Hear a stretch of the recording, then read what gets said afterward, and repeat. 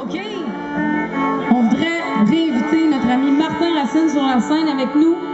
Martin, c'est une personne très importante pour nous. Il a joué avec nous pendant euh, un an et demi. Il a joué sur notre album. Alors, on est bien contente de l'avoir ce soir. Martin Racine!